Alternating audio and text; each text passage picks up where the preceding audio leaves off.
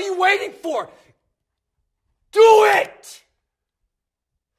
Just do it! Yes, you can!